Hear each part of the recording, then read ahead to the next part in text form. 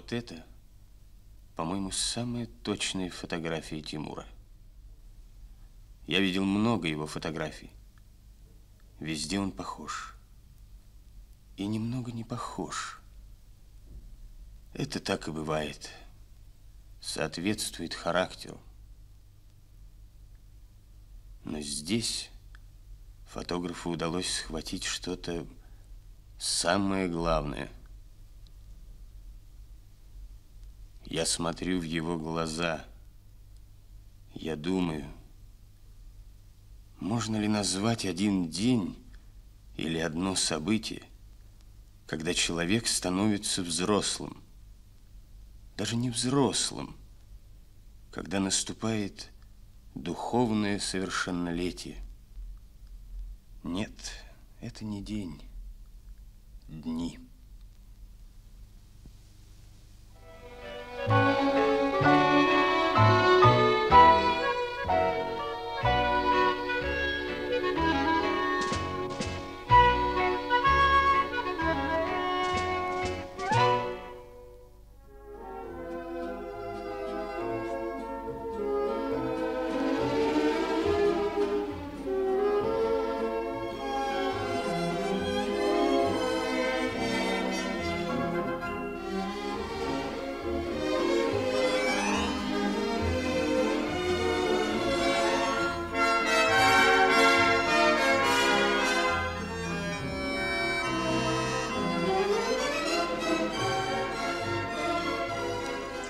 мне вот Степик говорил, что если купнуться, так вот с этим строго. Это сразу. Бесполезно. Куда же вы такой рисковый прибыли?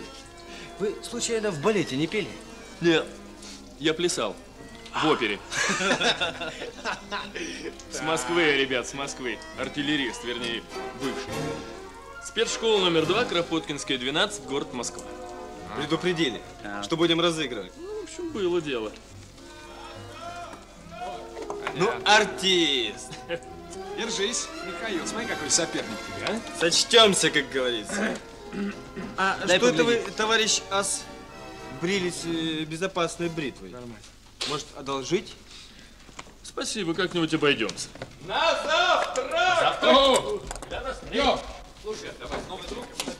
У нас тут небольшая кукарача вышла с новоявленным небесным богом. Знакомьтесь. Сережка, Тимка, Сережка, здорово, здорово, Здорово. Тимка, здорово, ты еще.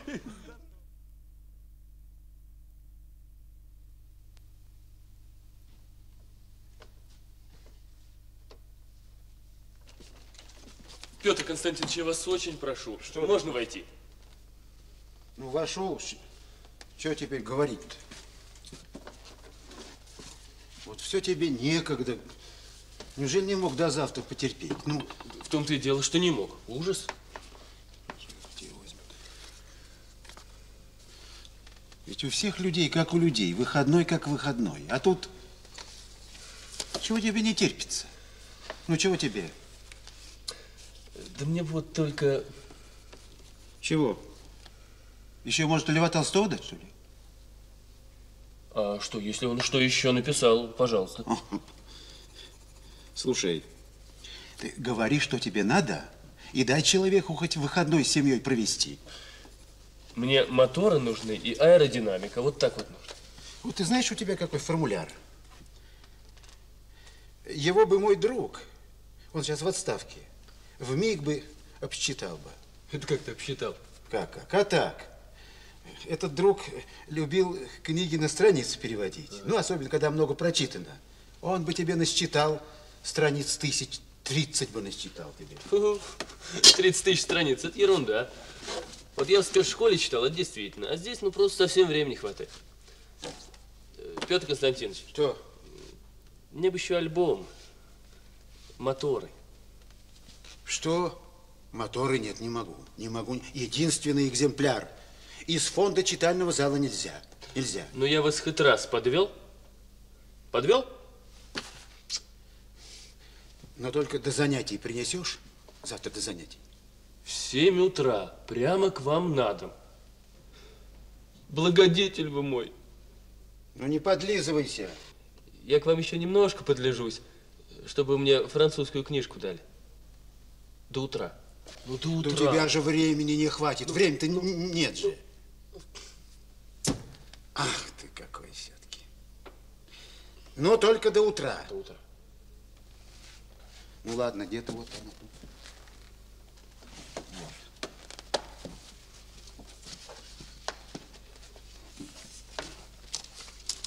Благодарствуйте. Честь имеем. Начитался классиков-то. Так точно. Начитался. Ну ладно, иди.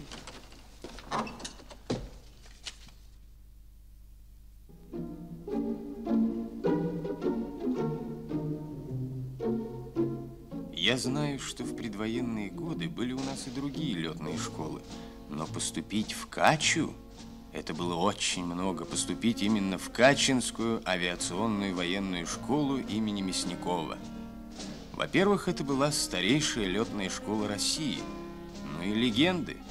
Конечно, легенды, впрочем, опирающиеся на вполне реальные события, тоже имели значение. Ну, например, то, что в школе был Нестеров во время дерзкого по тем временам перелета из Киева в Севастополь. Кача же рядом с Севастополем. Учебная программа была трудной, насыщенной. Школа давала фундаментальные знания в теории. Во владении летным мастерством тоже все было очень фундаментально. Но я хочу обратить ваше внимание на другое. Иногда людям очень молодым кажется, что все в науке, в технике нашей современной началось приблизительно в их время. Ну, скажем, вчера. Когда я смотрю хронику, у меня всегда наше время и то, сохранившееся на пленке, связывается. Вот это хроника. Занятия в Каче в предвоенные годы. Кинопленка мне дорога не просто тем, что сохранила историю. Нам сейчас многое кажется простым, легким. А в 30-е годы все это азбучное для нас сейчас надо было сделать азбучным. А сделать это было трудно. И для того времени это были такие же значительные события, как самое ошеломляющее открытие наших дней. Впрочем, это не только в авиации.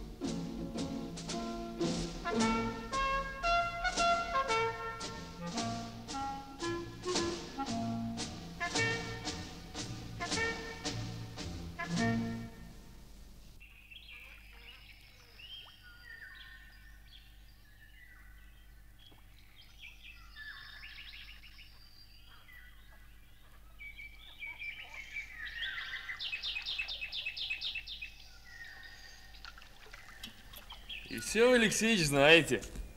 Ты все копаешься, ковыряешься. Конструктор. Теория одно, а на практике руками потрогать, ведь как живой. На, вытирай, не болтай. Что мы скажем, если начальник полетов придет? А что? Уставом не запрещено. Свободное время. Алексеевич, а вы сами летали? Я, парень, отлетал не начав. Как это? Да так, было мне столько же лет, сколько тебе. Полоснуло по легким. Ограниченно годен. Ну, а в авиацию я рвался, и никаких. В армии меня оставили. Вот только и добился того, что с самолетами. Да ничего.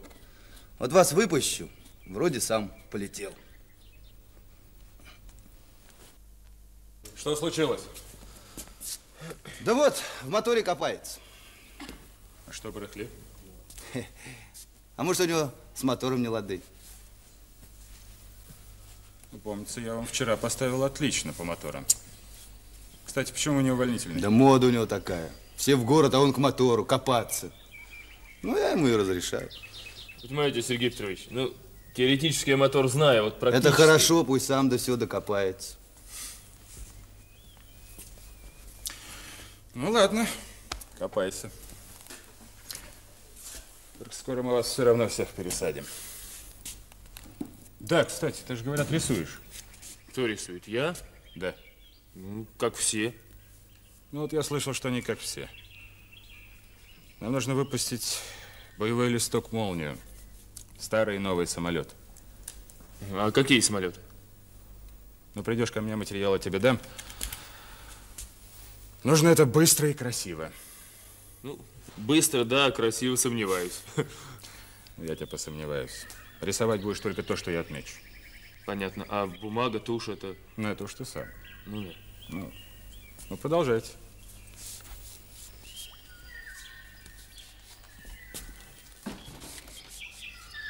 Алексеич! Алексеич, а что это за новая машина, знаете? Не знаю. Сложная машина. Можно сказать, трудная. С ней, парень, надо на «вы».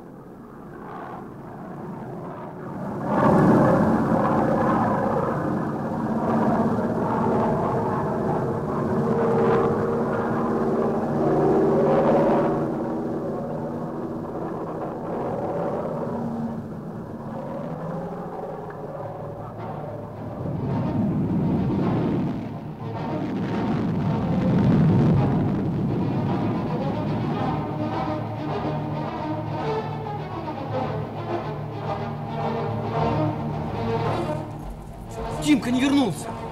Вроде на горку шел. Да все в порядке. Я сам своими руками проверял. Да не волнуйтесь вы. Лейтенант, ну вернется он. Какая машина сейчас на ходу? Так все же готово.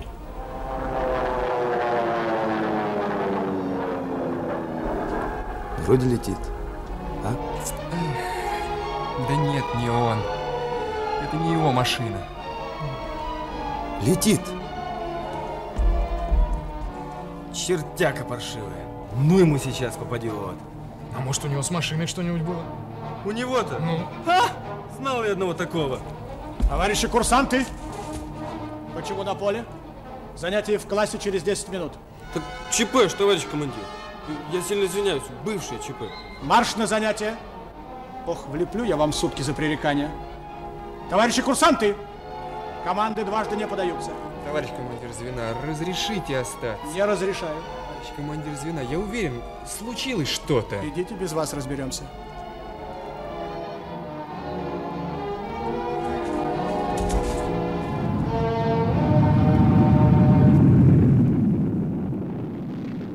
Ну, В лес!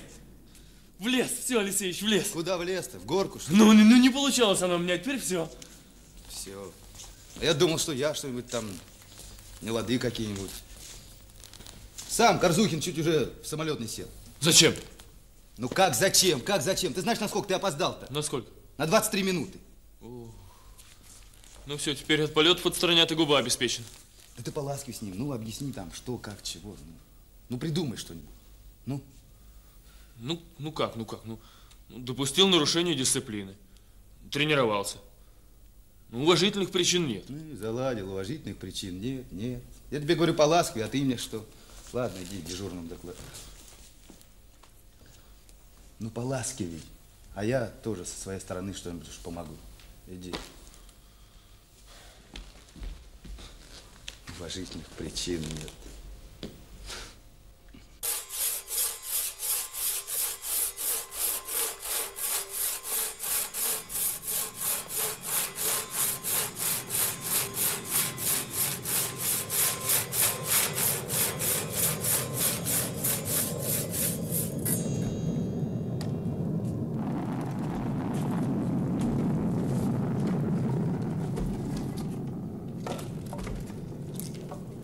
Ну что, получилось? С этим нет. Ребята собирались к самому пойти. Три дня это много. Конечно. Не надо. Я не хочу, чтобы за меня просили, хоть бы кто не просил. Ясно? А потом не три дня, а один. И то без полетов. Ну, видишь, все-таки вышло, что ли?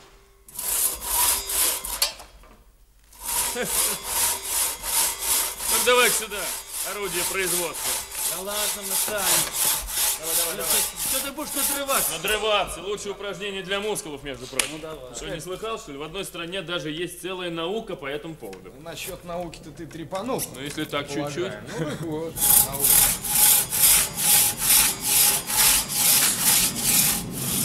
О, это, по-моему, Степик.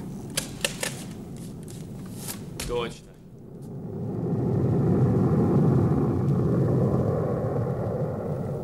Вот старые летчики верно говорят, что у каждого в небе есть свой почерк. Вот и Степки есть. А это кто в каблучке? Мишка ковыряет, точно.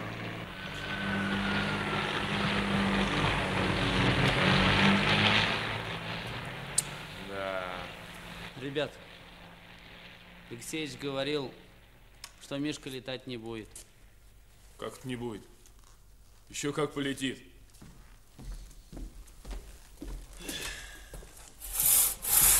Загораем.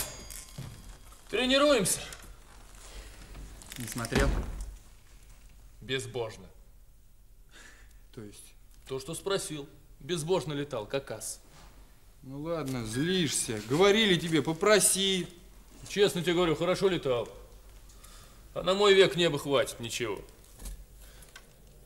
Ну что, давай становись. Мышцы немножко. Разомни.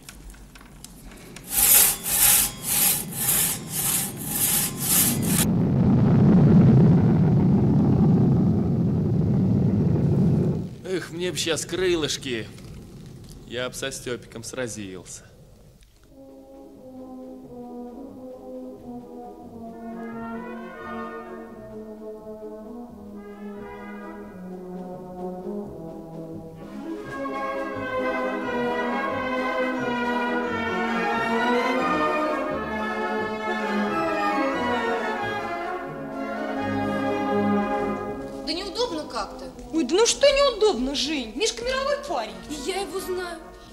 Вообще, девочки, в Каче такие хорошие ребята. Нет, ну мне как-то неудобно. Ну, знакомиться на улице. Что ты, Женя, не знаю. Ой, вон Мишка идет и еще кто. Ой, девчонки, слушайте, давайте спрячемся, а то подумают, что мы первые пришли. Правильно, давай, пошли.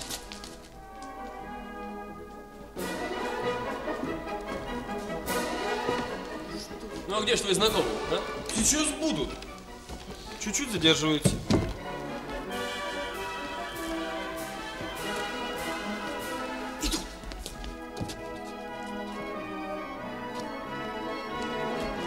Привет женскому полу. Здравствуйте. Знакомься, это Женя. Женя. Миша, с Одессы. А это наш знаменитый качинский ас, мастер штопора и трёпа. Тимур. Здравствуйте. Оксана. Очень приятно. А это наш тихий небесный друг Витя. Женя. Витюша. Оксана. Валя. Сережа. Боже. Простите, мы с вами где-то случайно не встречались? Нет, не приходилось. Пардон. Значит так, программа такая. Сейчас мороженое. Вторым номером программы выступят танцы до упаду. А кто хочет и дальше. Кто за? А ты говорила, город будете смотреть. Женечка, город не волк, в лес не убежит. И так увидим. А в каком По дороге. мороженое? Ну, в фиалку Монмартра, в зоре Парижа. Утомленное солнце, на выбор. У нас таких кафе-то даже нет. Извините, ну тогда утомленное сердце. А у нас мороженое только в бачках продают у пристани. Наш одессит, как всегда, в мечтах. У них все такие. Ну ладно, пошли, ребят.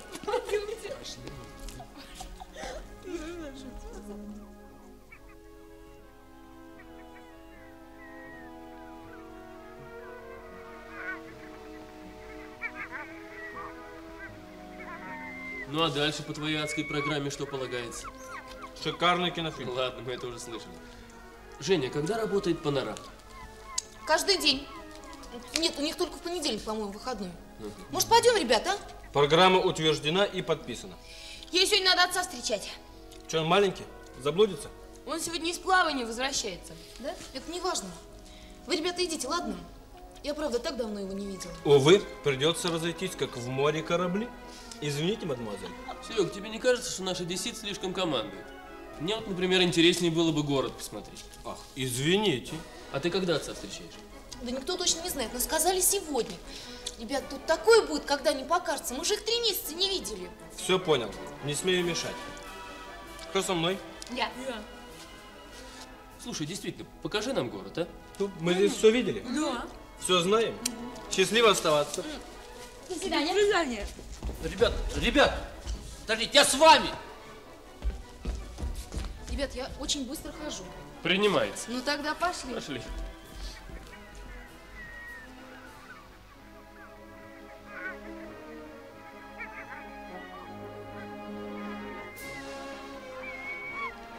Отсюда вот всегда видно, когда корабль далеко-далеко еще в море.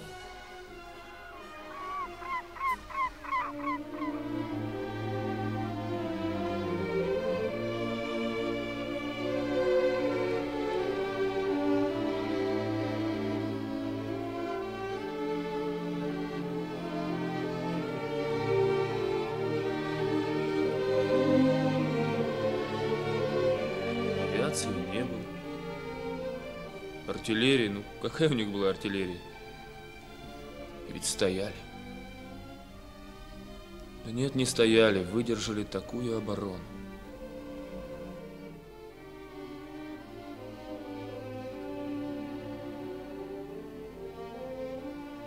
Вот где ты тут ходил? Может быть, вот на этом самом месте стоял человек с пронзительными глазами и бородой. Серега, у него была тогда борода? Женя знает. Да ничего, ребят, не знаю. Только очень, очень люблю наш город. По-моему, лучше нет. Есть. Какой? Ну зачем ты спрашиваешь? Ты же знаешь, какой город я назову. У меня все там и все там. Я по ним очень соскучился. Но Севастополь мне тоже очень нравится. И вообще как-то это все действует. Ну ладно, ребят. Пошли в панораму.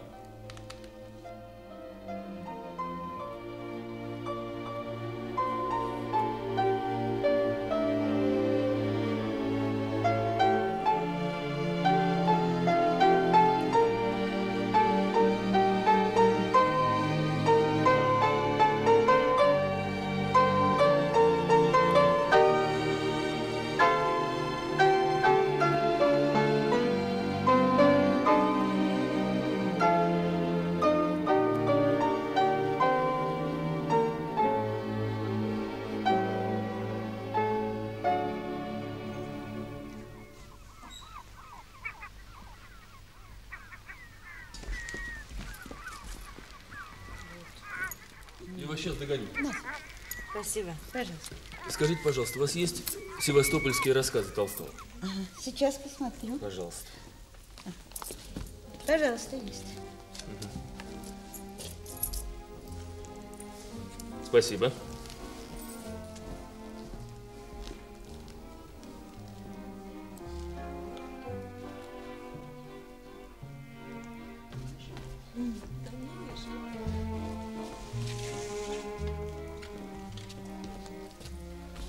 Как он пишет?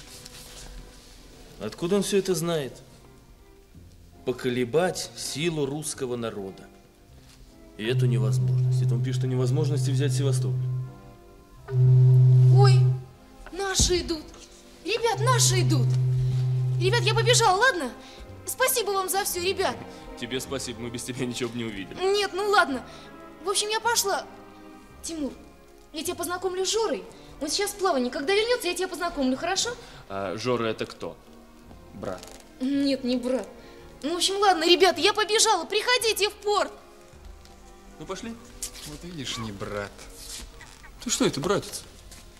Она мне понравилась. И мне Женя понравилась. Ну ладно, я тебе скажу, чтобы уж больше никаких.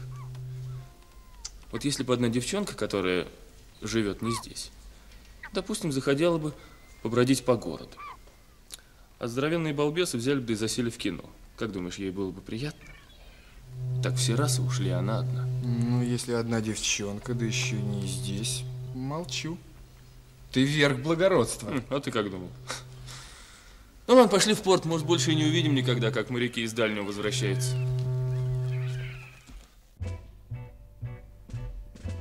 Мне кажется, Тимур был всегда особенно внимателен, когда кто-то из его друзей говорил о своем отце.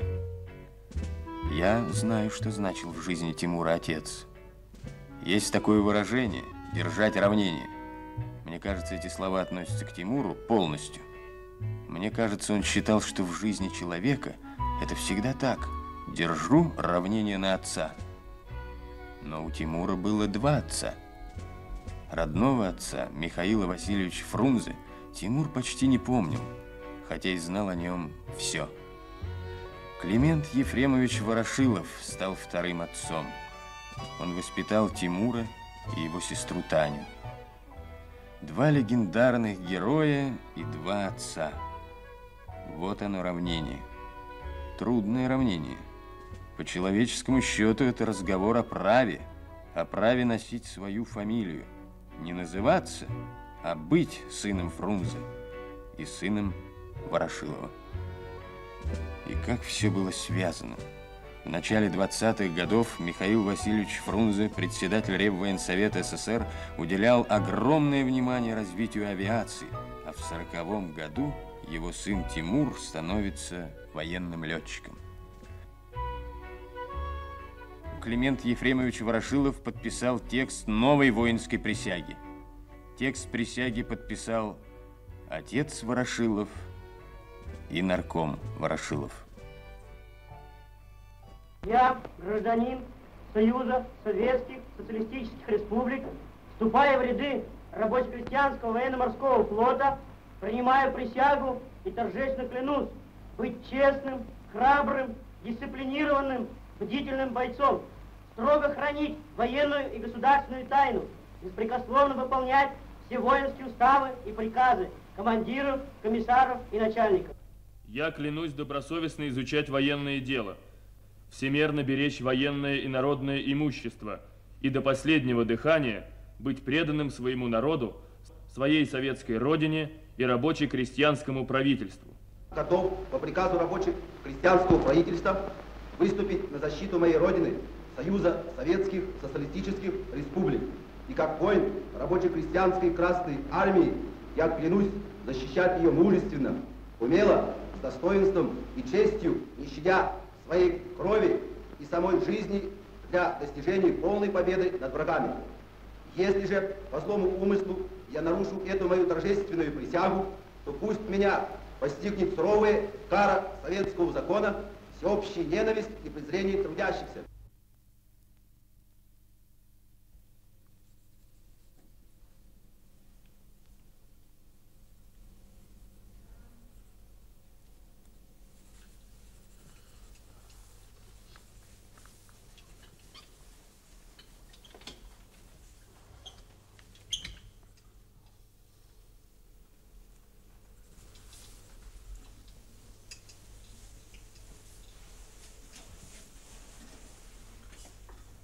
Не спишь?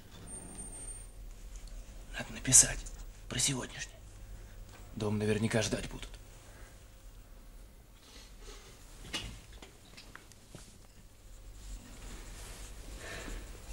И мне что-то не спится. Я дома очень люблю этот день. А у нас дома, знаешь, как хорошо. Только в этот день никак его не дождешься. Очень я по дяде Клима соскучился. Он сейчас тоже, наверное, не спит. Он вообще-то всегда встает в пять, но редко в шесть. Мы еще только глаза продираем, а он уже уехал. Мы даже редко виделись. Мы уже спим, а он только приезжает. А сегодня я бы его дождался. Я его всегда в праздник дожидался.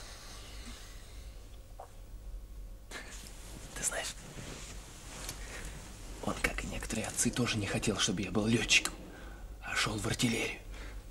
А сам, когда я маленький был, подарил мне книжку про авиацию. Ребята,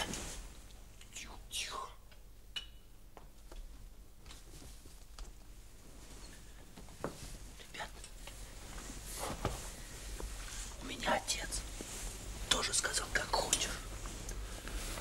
Тебе, говорит, жить, тебе и решай. А сам, конечно, мечтал, чтобы я был так же, как он, учителем. У нас в школе, в сельской. А я сейчас к Степику заглядывал. Лежит, ворочается. Правда, правда, тоже делает вид, что спит.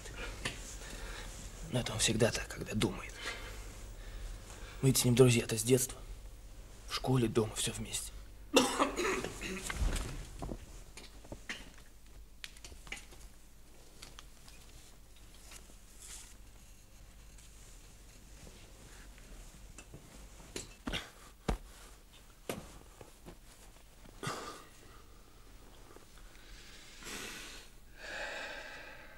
А хорошо сегодня было.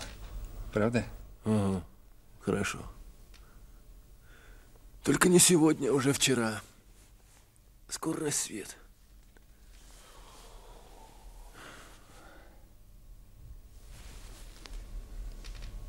Тимка, а что ты думаешь по поводу нашего союза с Германией?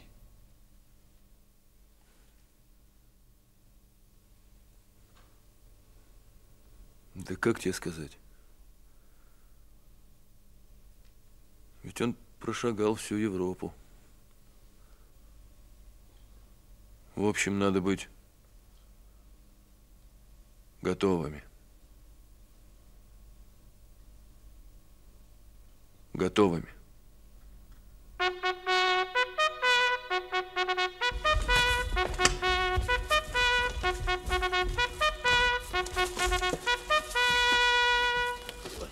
Ну что ж так рано поднялись? По-моему, первый раз. Ой, спать хочется как никогда. А я уже. Ты посмотри на него.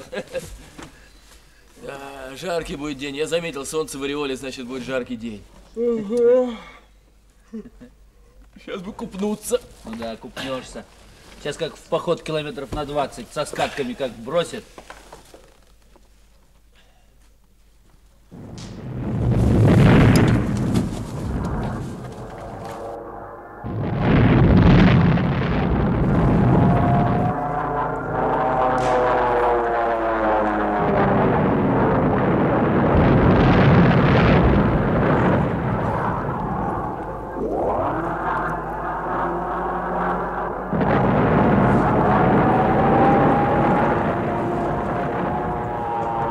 Мессеры! Это была ночь с 21 на 22 июня 1941 года.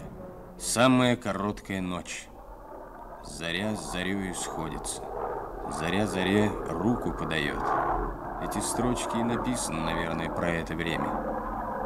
Вы знаете по документам, по истории, Севастополь был в числе городов, которые подверглись фашистской бомбардировке в этот ранний час 22 июня.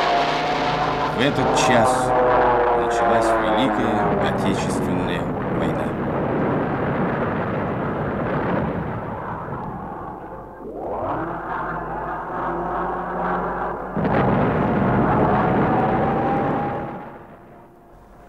Товарищ генерал, мы пришли от имени всех курсантов. У нас только что кончилось комсомольское собрание. И мы просим направить нас... Знаю, знаю, все знаю. Товарищ генерал, мы просим направить нас на фронт. Я вам могу сказать только одно. Училище продолжает занятия. То есть как продолжает? Как продолжает? Ведь идет война.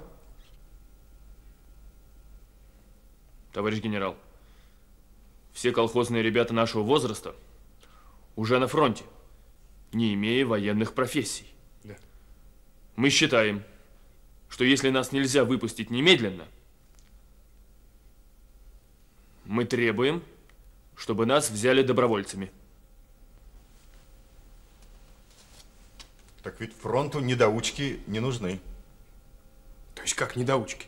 Как недоучки? Товарищ генерал, законы военного времени... Разговоры отставить. Не мне вас учить воинской дисциплине. Что вы не знаете устава? Что вы школьники? А еще лучшие комсомольцы, лучшие ребята. Товарищ генерал, разрешите обратиться? Не разрешаю. Эмоции, требования. Раз-раз и в атаку.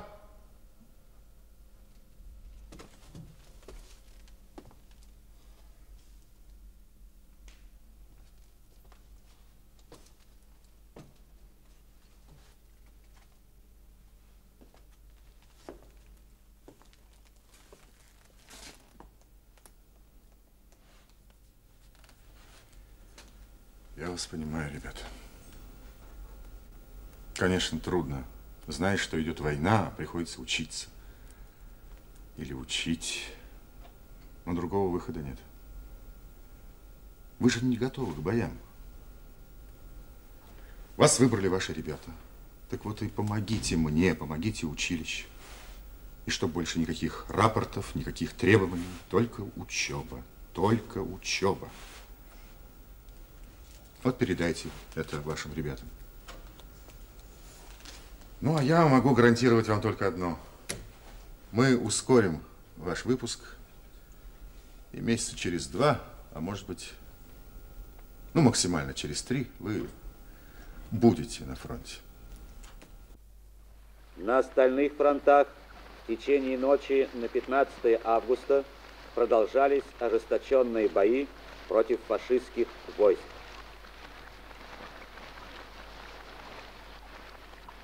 Мы передавали сводку Советского информбюро.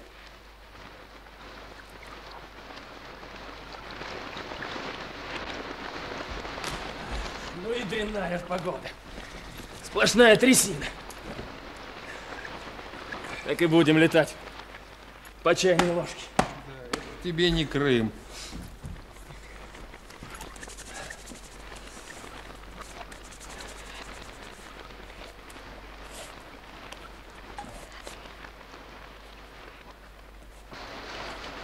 Как он?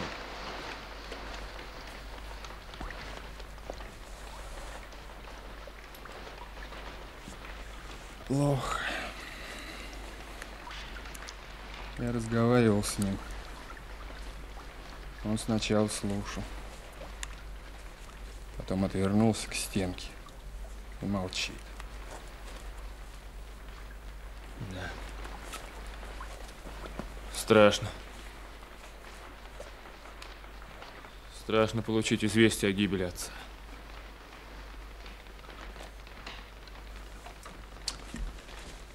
Сегодня что, ты дежурный? Ага. Ну, счастливо.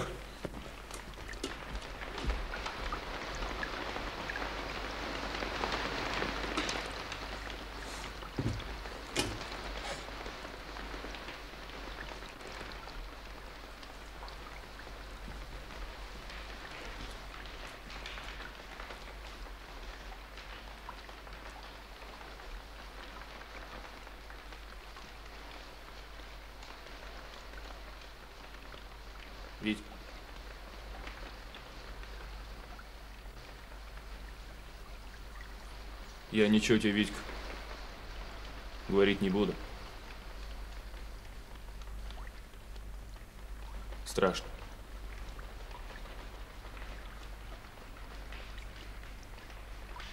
Я вот отца совсем не знал. Не помню. Не помню все. Да и маму тоже плохо помню. Тебе в сто раз хуже. Я отца совсем не помню, а ты с ним всю жизнь.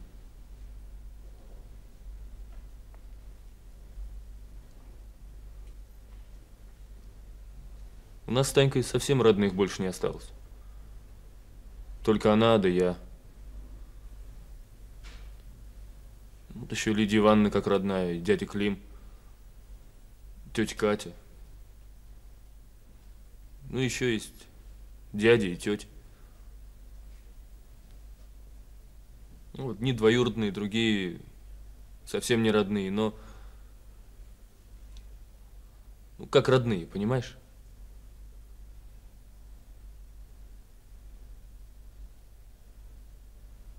Вот ты отца никогда не забудешь. И никогда не простишь.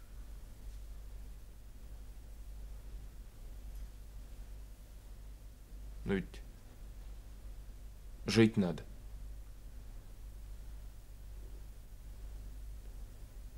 Маме твоей сейчас очень тяжело. У нее уже никогда не будет того, что было. Война кончится, а прежней жизни не будет. Надо будет другую жизнь строить. Без отца.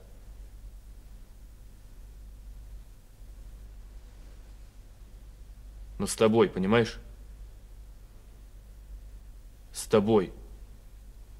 С твоей помощью.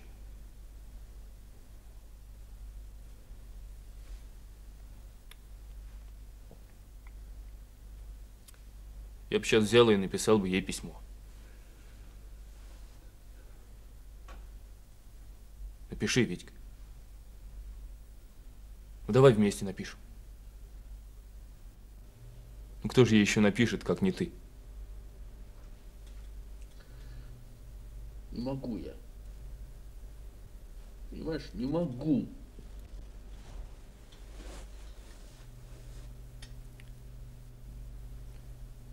Я вот замечал, что женщинам, даже самым самостоятельным и твердым, требуется помощь. Мужская поддержка.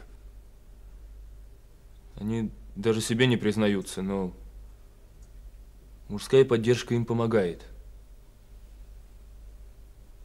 Твоя мать, наверное, такая.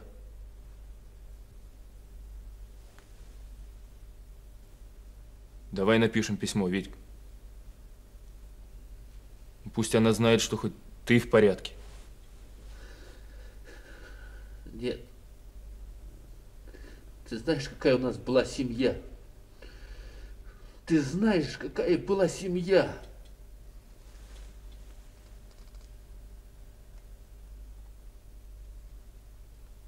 Так у нас тоже могла быть. Только ее не было.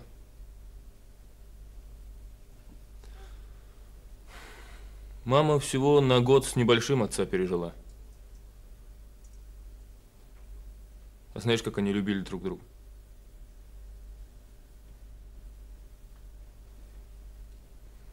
Трудно, конечно, о близких людях говорить.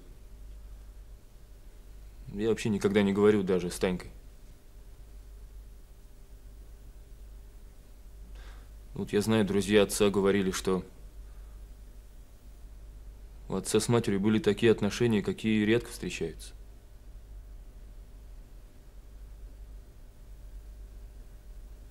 А вот дядя Клим стал нам вторым отцом. И ни Танька, ни я никогда не чувствовали себя сиротами, понимаешь? Никогда. Вот ребята часто смеются, что я с книжками вожусь, а ведь это тоже дядя Клим. Он сделал так, что мы не чувствовали себя одинокими. Чуть что-нибудь, всегда ребята рядом. Я очень, понимаешь, очень ценю крепость человеческих отношений. Люди очень много могут сделать друг для друга.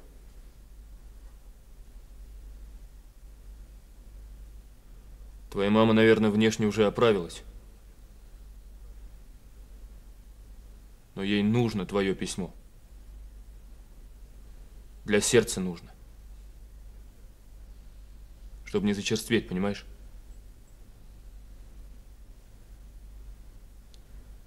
Витька, ты должен сделать так, чтобы она почувствовала все, как будто, как будто при отце. Его нет, но ведь ты же знаешь, каким он хотел тебя видеть. И делаешь все так, как будто бы он есть.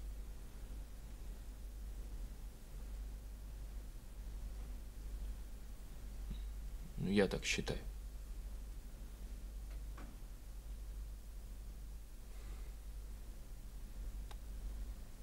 Только выпустили скорее. Видишь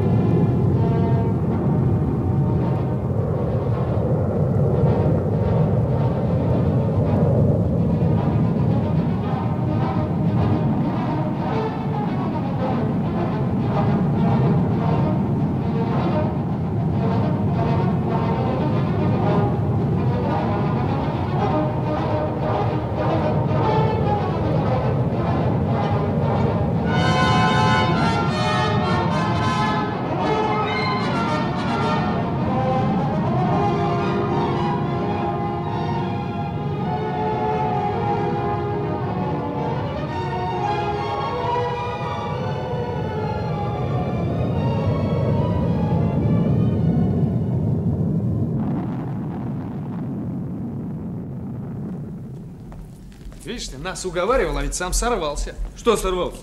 Молодец, класс показал. А говорят, его генерал к себе вызывает. Да ну, все равно молодец. Я ведь и ничего и не говорю. Товарищ генерал, но ведь задание учебного полета давало право на самостоятельное решение. Да. Так точно, товарищ генерал. Товарищ генерал, курсант Фрунзе по вашему распоряжению явился. Доложите о полете. Я имел право провести учебный бой. Но это право вас никто не отнимает. Я говорю о другом, о тактике, о мотивировке действия. Ну, допустим, противник прижал меня к земле. Так. Я же должен использовать это положение для пикировки. Угу. Я считаю, что пикировка с низким выводом целесообразнее. Ну что ж, в этом вы правы. А что у него в листе налетов? Пожалуйста. Угу. Так, что тут у вас в комплексе? Так, левый, правый, мелкие и глубокие виражи. Отлично. Переворот через крылышки. Отлично. Петли Нестерова так, полупетелька так, бочка, спираль так. Ну что ж, можете идти. Есть.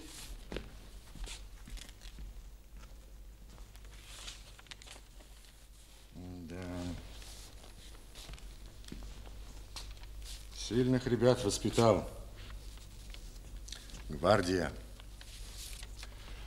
За такими силачами, товарищ генерал, только смотри. Ну ладно, ладно, ты не скромничай. Ну что ж, придется печатать приказ о тебе. Товарищ лейтенант, благодарность за отличную подготовку пилотов.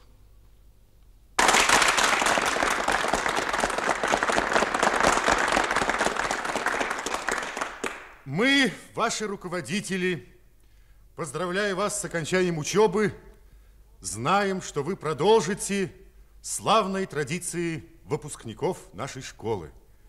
А наша школа дала Родине много превосходных прославленных летчиков.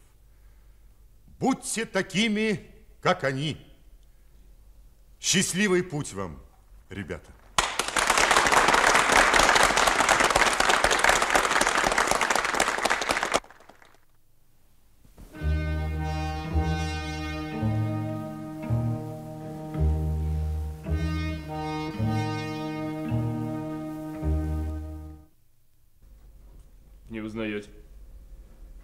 Что, серьезно не узнаете? Не помните? Нет. А что я должен помнить? Как двое мальчишек пришли записываться в летчики.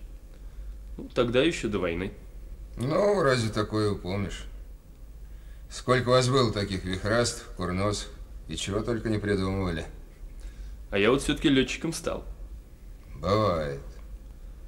А если серьезно, так я вам благодарен. Здорово вы мне тогда влепили. Я знал, что ты у нас, Тимур. Узнали все-таки. Так ведь все документы через меня проходят. Вы знаете, почему я пришел? Нет, пока нет. Ты садись. Рассказывай.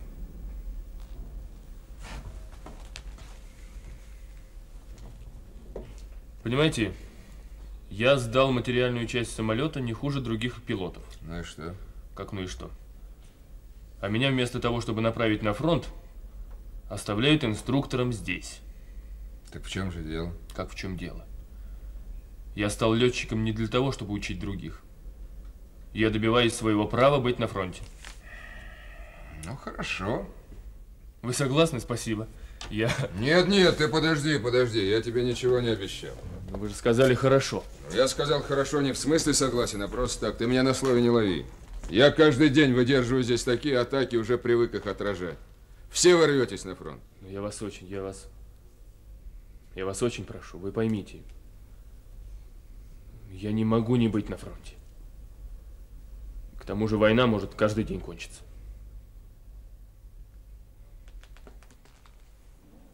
Сядь.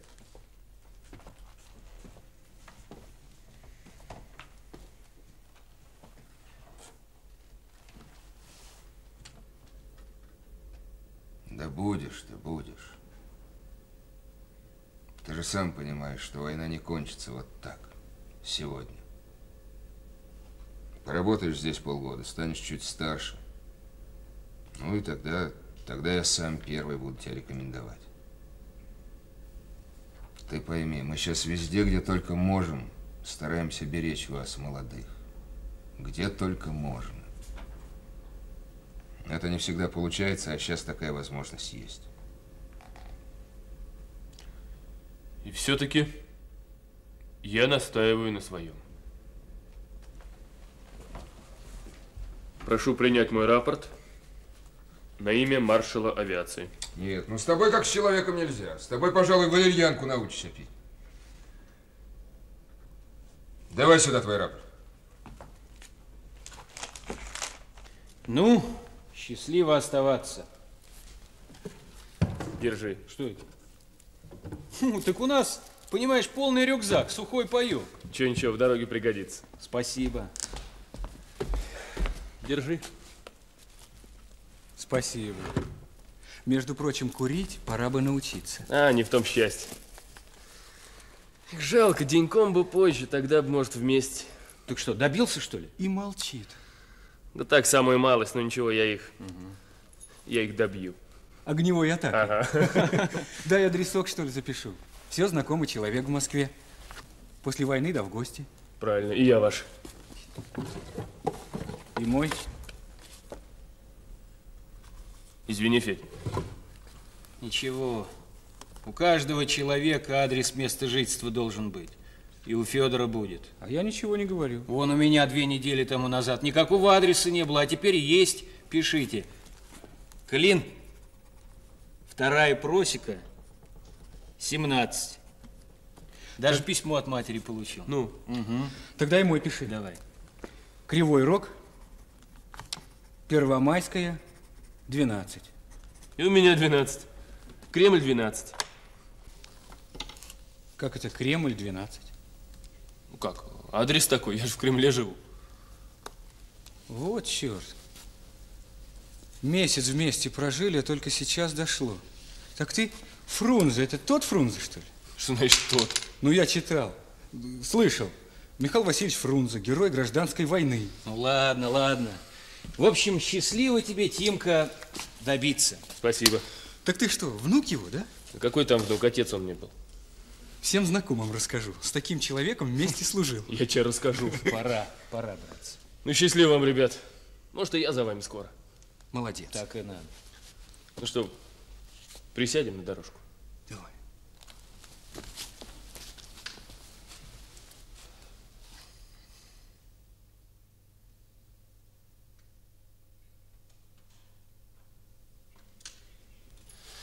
Ну ладно. Счастливо вам небо, ребят. Легкого взлета, мягкой посадки.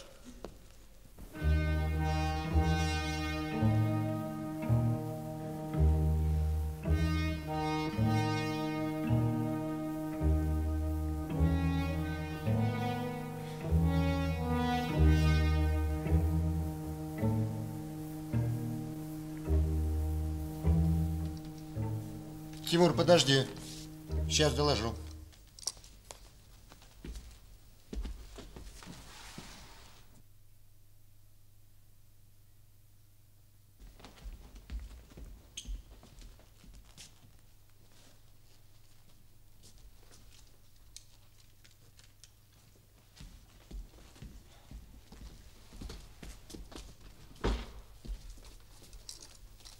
Тимур, ты слушаешь?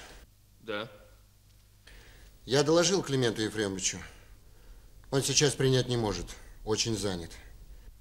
Просил, если ты можешь, зайти к нему в 20.00. Хорошо. В 20.00 я буду. А вы ему, пожалуйста, передайте, что сегодня в 23.30 я отбываю на фронт. Сегодня в 23.30 на фронт. А он знает? Нет. Ну, хорошо. Я передам.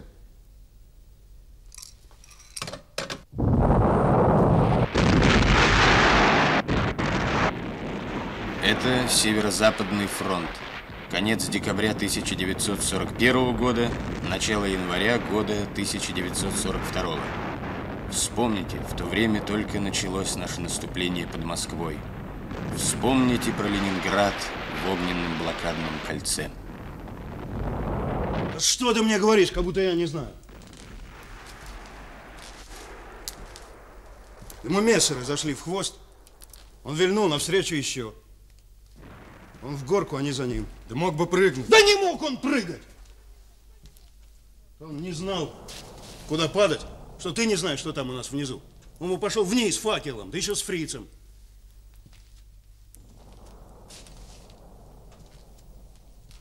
Вот и увел фриц. Вот и погиб. Ах, Ленька, Ленька. Как он плясал-то, а? Когда письмо пришло. Сегодня утром было. А так, дочки несколько дней, а отца уже нет.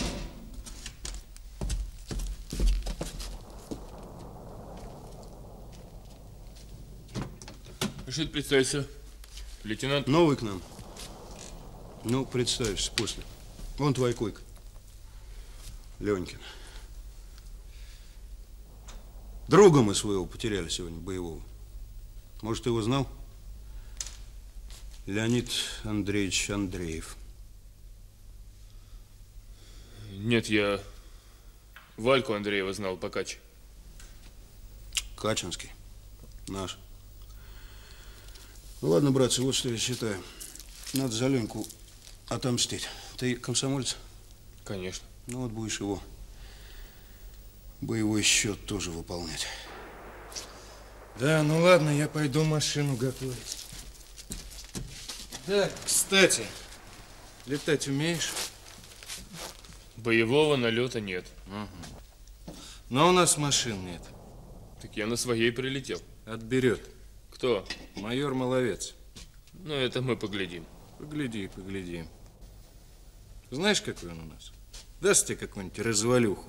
И будь тебе на ней проверочку устраивать. Ну ладно, ладно. Ты его не пугай, иди готовь машину. Да, ну ладно, пойду.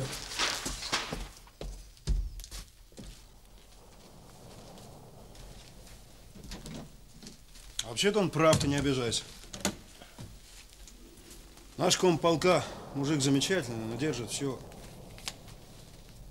Он тебя сначала проверочками по технике, по теории вымотает, а потом уж решит куда. Ну, здесь коса на камень найдет. Ну, увидишь. Чего смеешься? Да так, имею кое-какой опыт по уламыванию. Никак не мог добиться направления на фронт. А, ну, знаю. Сначала полетай, потренируй других. Да, и у тебя было? Было, было, все было. Давай документы.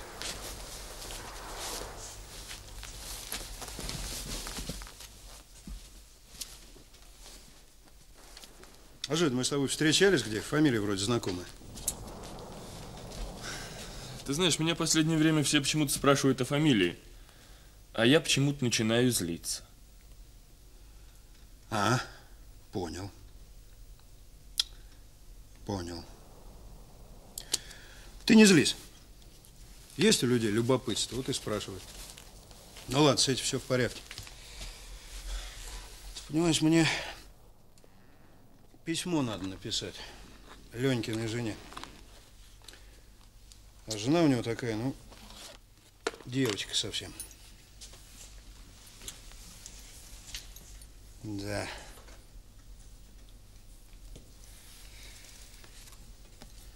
Дорогому от любящей Иры.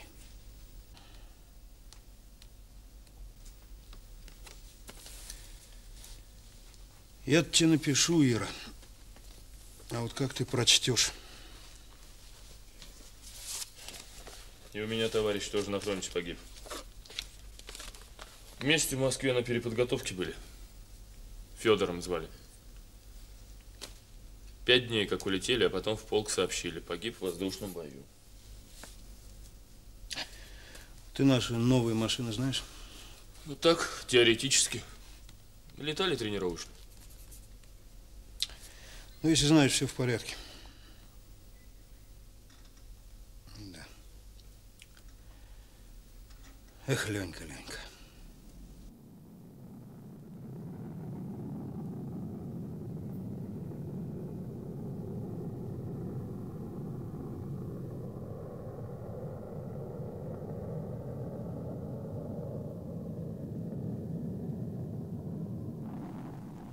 Тихий, да?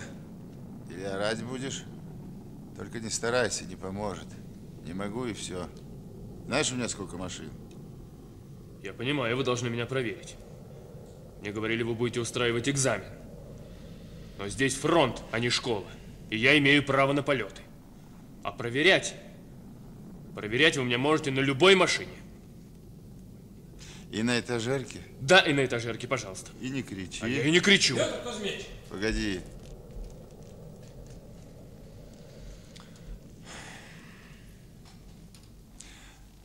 Видишь, вон, он стоит. Вот приведи в порядок и летай. Есть, решить идти?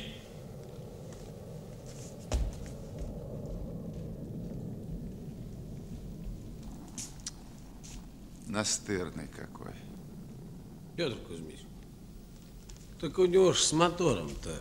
А вот пусть сам и разберется. А мы поглядим, что к чему. Молодой очень. Молодой. А так вроде... Да нет, школа-то ему дала аттестат по высшему рангу. Ладно. Если определит, в чем поломка, дадим ему завтра крылышки. Пусть костылей гоняет.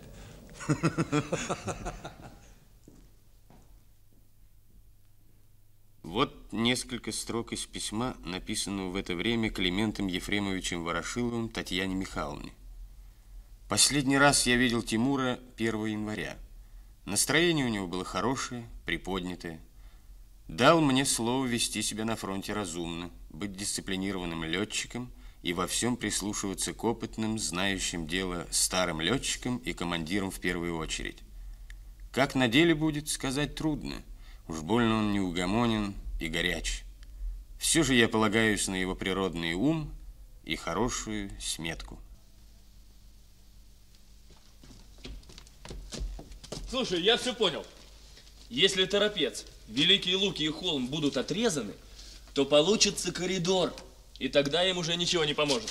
Это здоровеннейший клин между Москвой и Ленинградом, и закрыть им его невозможно. Точно! Так что дела, делишки налаживаются. Вперед и только вперед. Без подробностей? Кое-какие подробности есть. Ты ходил? Да, страшно поругались.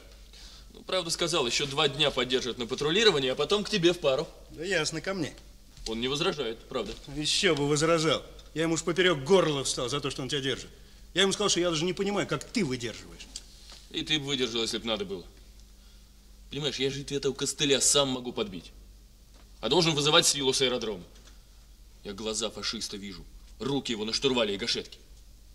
Гнать, пожалуйста, а тронуть ни за что. Это год. Он и учитывает, что? Выдержку твою. Ну, а еще что-нибудь узнал? Кое-что узнал. Давай замнем для ясности. Споем? Из меня певец-то так себе. Ну ладно, ладно, не скромничай, товарищ летчик. Живет моя отрада. Да можно и отраду, только ты, по-моему, что-то хитришь. Живет моя отрада в высоком терему, а в терем тот выс... А я смотрю, у вас тут веселехонько. А ты шумел сегодня. И вообще что-то вы у меня шумные стали. Так не зря шумел. Ну, допустим. А я вообще ни слова. Вот именно. Кто-то корреспондент спрашивал, когда ты ушел. Кто такой сердитый? И тоже мне. Заступаться за тебя стал. Да я его первый раз вижу и вообще ни о чем не просил. Да знаю. Что, не понимаю, что тебе давно уже пора быть в бою? Понимаю. А машину что я, на сотни, что ли, считал? Ну, ладно. Только чтобы меня аккуратно. Ну вот и не будем вас больше беспокоить. Пара у нас слаженная, что ведущий, что ведомый. Да, вижу, спелись. Что, все уже решили? Да, да, да, да. Решили. И не приставайте больше ко мне. Лучше спойте. Вы что думаете, я на вас смотреть пришел, что ли? Я на песню пришел, так что давай. Ну вот вы нам и подпевайте. Давай, давай. Живет моя отрада в высоком терему, а в терем тот высокой нет входа никому. А в терем тот высокой нет входа никому. Я знаю, у красотки есть сторож у крыльца, и никто не загородит дорогу молодца. Никто не загородит дорогу молодца. Войду я Камилой в терем и брошусь в ноги к ней. Была бы только ночка, да ночка потемней. Была бы только ночка, да ночка потемней. Была бы только ночка, да ночка потемней. Была бы только тройка, да тройка порезвей. Была бы только тройка, да тройка порезвей.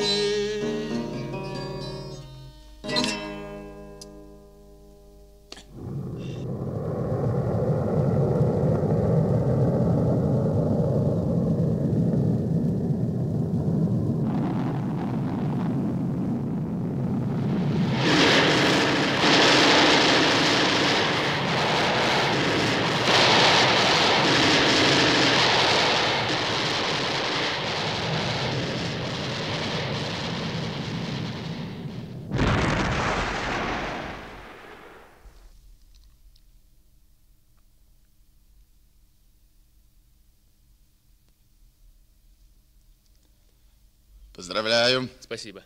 Батальон мне рассказывал. Хорошо сработал. Это который у тебя по счету вылет? Первый. Раньше на прикрытие аэродрома летал, а на прикрытие войск первый. Ну ладно, ладно, больше не буду тебя держать над аэродромом. Я бы раньше тебя отпустил, если бы только можно было.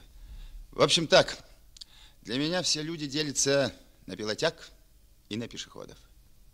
Имею слабость к пилотягам, ничего не могу с собой поделать, только не загордись. Я ведь очень на тебя рассчитываю, потому и называю пилотягой. Да нет, я еще плохо летаю. Э, этого не люблю, оставь для барышень. Да нет, я серьезно говорю. Вы понимаете, какая штука? Я ведь только оборонялся, а не нападал. А надо нападать. Ведь я же его ждал оттуда, а он оттуда прилетел. А где же он мог пройти? Понимаете, какая штука? Они что делают? Они, когда к нам идут, заходят к нам в тыл. А потом от нас к нам же и летят. Ну что ж, это интересная мысль, надо подумать.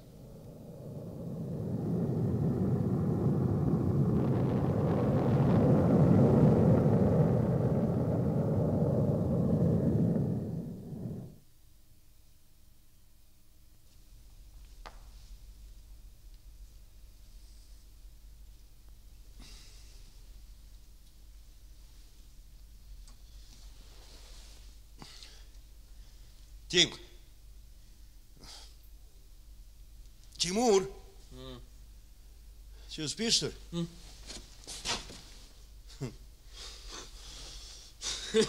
Жнат заснул. Первый раз с книгой заснул. Слушай, есть еще время поспать? Да вроде бы есть. Мы сколько вчера с тобой спали? Да я не помню. Хе. Мы вроде бы и не ложились. Не разберешь, то ли вчера, то ли сегодня. Слушай, Тим, а мне сон снился. А, видишь, как они быстро-то бывают сны. Знаешь, и снились мне почему-то цветы. Ромашки, одуванчики. Это к письму. Да ладно тебе. А что? Почему бы и нет? Нет, слушай. Знаешь, ведь будет же когда-нибудь такой день, когда цветы и тихо-тихо. Ну, читать. А читаешь, читаешь. Ну ладно. Да вообще-то я привык и читать, и слышать. Нет, вот правда. Представляешь, вот живем так, а ведь будет когда-нибудь день, и все опять как до войны, а? Нет. Как до войны не будет. Почему же не будет? Ну, то есть, наверное, будет, конечно, но не для нас. Мы ведь вернемся с войны другими.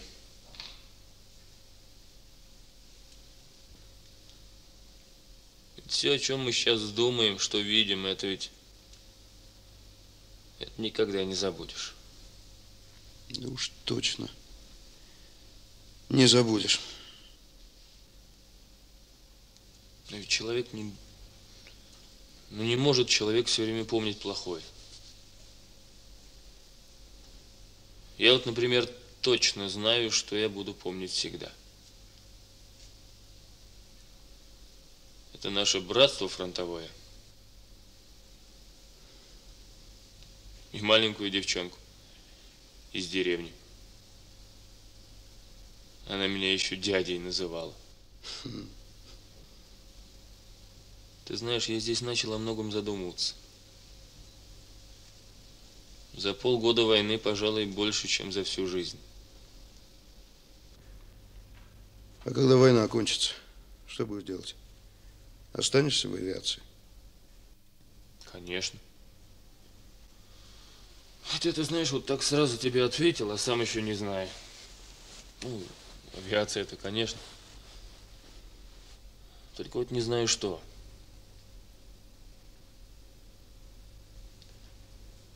Мне бы, например, хотелось быть испытателем и конструктором. Я, конечно, тоже останусь в авиации, но, знаешь, хочется полетать на гражданских линиях. Свердловск, Чита, Хабаровск. С детства меня дальние расстояния привлекают. Ты сейчас спросил, кем я буду. Хм. Ты знаешь, я перед фронтом в Москве домой заходил. Книжку одну искал, но не нашел. Или Татьяна с собой взяла, или спрятала. А нашел свой альбом старый с рисунками. И вот что чудно. Когда я был маленький, ну лет мне было, наверное, 7 или 8. Я рисовал гражданские самолеты. Там одна картинка такая. Внизу нарисован то ли гусь, то ли жираф, там непонятно. Машина едет, еще дорогу нарисовал, наискось такую, длинная дорога. Вверху солнце вовсю, и летит самолет. Летит по направлению к солнцу. И написано «Проводник».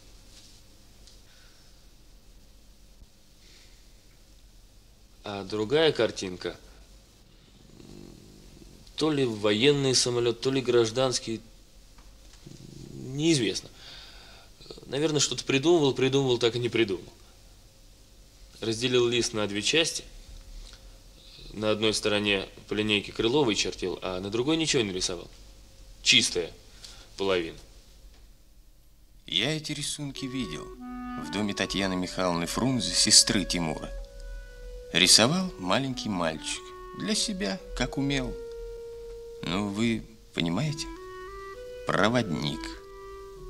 Самолет-проводник. Значит, летчик-проводник. Значит, человек, который приходит на помощь тем, кому эта помощь нужна. Самолет. Все вычерчено.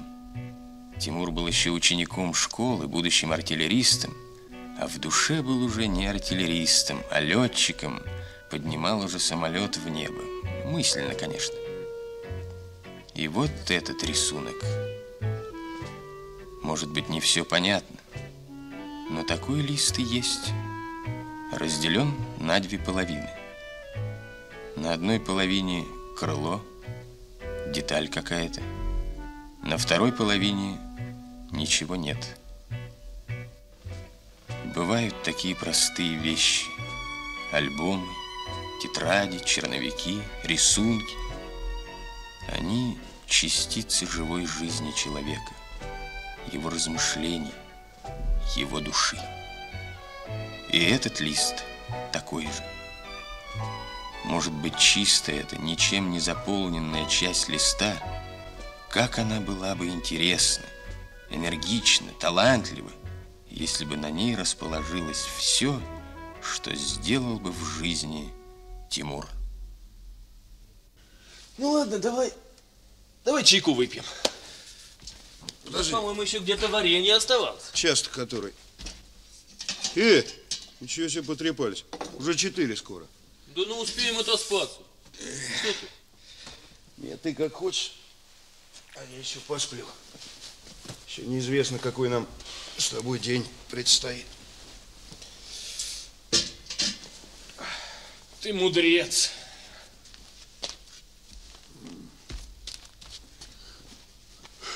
Сдаюсь.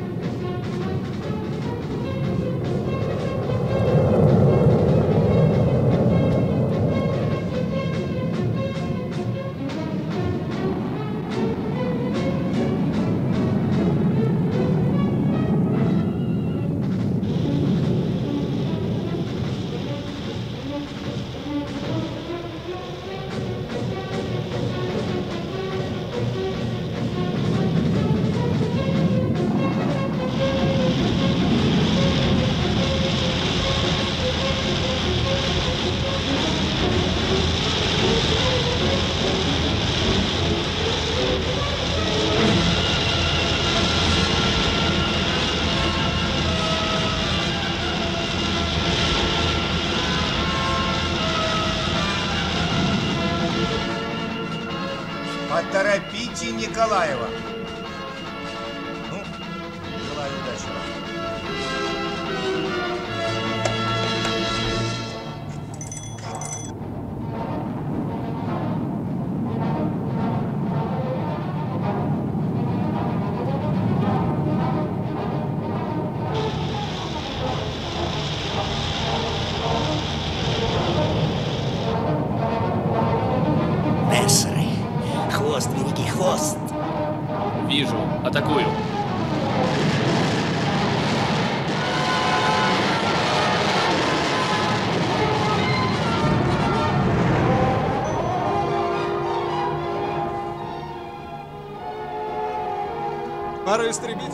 Прикрывавших наступление наших войск, атакована. Бой ведет 8 мессеров. Да, слушаю вас. Полковник Сергеев. Сбит? Мессершмитт 109? Да? Балагиш? Хорошо.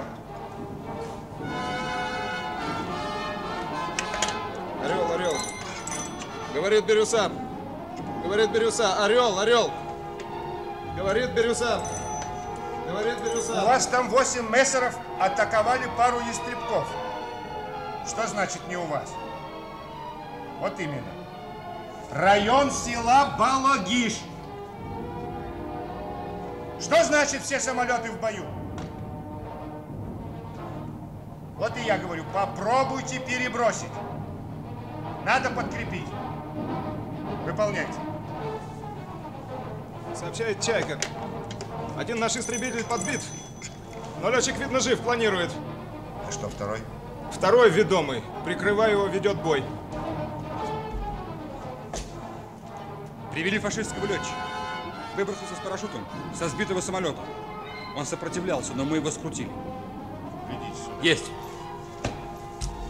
Георгий Васильевич. Да. Запросите. Есть.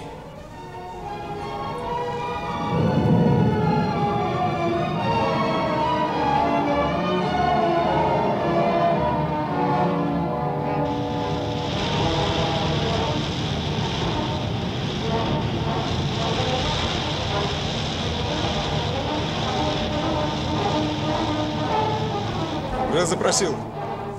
Он планирует. Но у него, видно, много горючего, уводит от линии фронта. Узнаете о летчике? Есть. Представим к награде.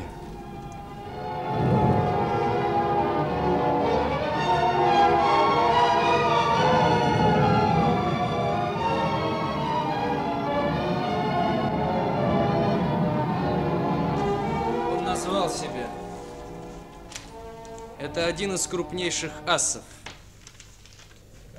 Он говорит, что несколько дней назад Гитлер вручил группе асов, в том числе ему, рыцарский крест с мечами и бриллиантами. Еще он сказал, что его за все время войны не сбил ни один самолет. Ни в Бельгии, ни во Франции, ни в Польше, ни в Африке, нигде.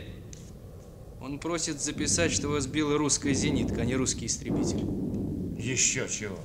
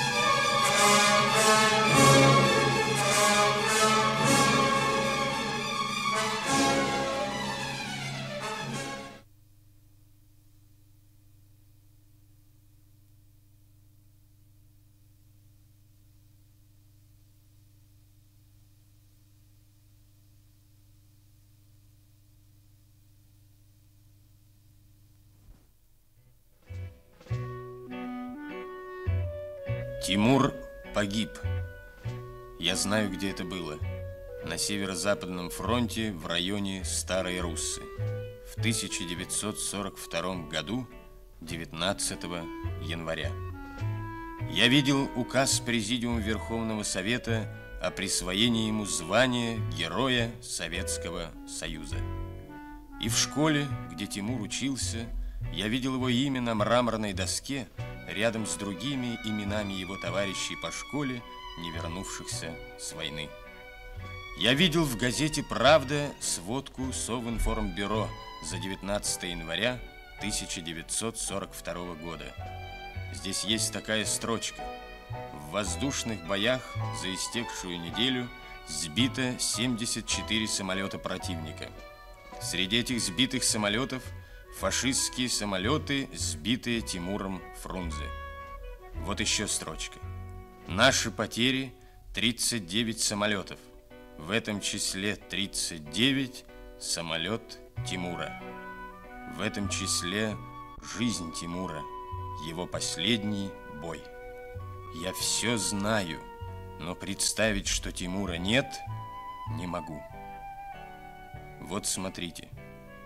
Это хроникальные кадры Тимура. Посмотрите еще раз и еще раз. Они очень короткие. Совсем маленький мальчик. Еще никто не может сказать, каким он станет человеком, когда вырастет. Тимур – школьник. Вот каким Тимур был в школе, товарищи хорошо помнят. Я знаю, почему я не могу представить, что Тимура нет. Когда я разговаривал с друзьями, они все говорили о Тимуре как о живом человеке. Не в том даже дело, в каком времени говорили, наверное, в прошедшем времени, но так, будто не прошло более 30 лет. На этой фотографии друзья. Вы Тимура узнали. Это Степа Микоян, Степан Анастасович Микоян, заслуженный летчик-испытатель Советского Союза, генерал-майор авиации. Они были всегда вместе, жили рядом, учились вместе и даже сидели на одной парте. Говорит Степан Анастасович Микоян. 31 декабря я был в это время в Москве, где находился мой полк. Это время было, когда немцы были совсем близко от Москвы. И последний раз я с ним разговаривал по телефону. Он позвонил мне и сказал, что его полк уезжает на северо-западный фронт, и он тоже едет туда. И вот это последний раз, что я слышал его голос. И потом я тоже, будучи раненый, лежал в больнице и узнал о том, что Тимур погиб. Прошло уже много лет, но я не могу забыть Тимура. Это был исключительный, необычный парень, необычный человек. Что это вот такие необычные люди, из которых рождаются герои, рождаются какие-то выдающиеся люди, известные очень многим. Ему еще не было 19 лет, когда он погиб. 5 апреля ему должно было исполниться 19 лет. И вот думаешь о том, кем бы он мог быть. Он бы достичь мог очень многого. Это был, как я уже говорил, я повторю, во-первых, исключительно культурный, эрудированный, грамотный человек. И во-вторых, настоящий мужчина, настоящий, ну, вначале мальчик и потом мужчина, смелый, храбрый, волевой, подтянутый, энергичный. Я часто думаю о Тимуре. Каждый год человека не подготовка к жизни, а уже сама жизнь со своим счетом, с полной мерой человеческой ответственности. И так в 10 лет, в 15 и тем более в 18 лет. багровом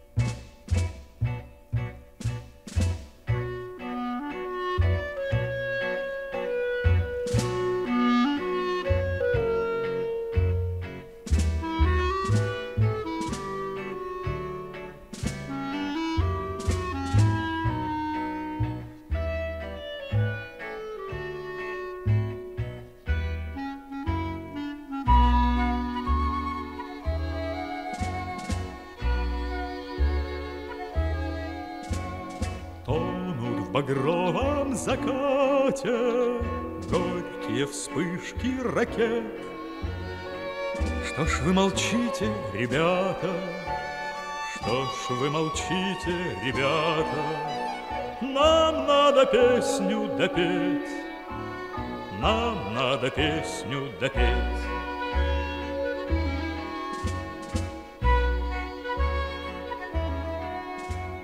Песню, рожденную сердцем, Нет, не погубит свинец.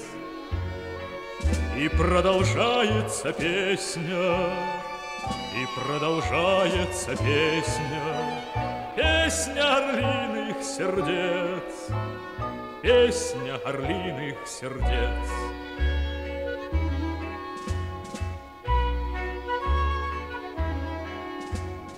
Ветром, пургой, облаками Скоро поспорим опять.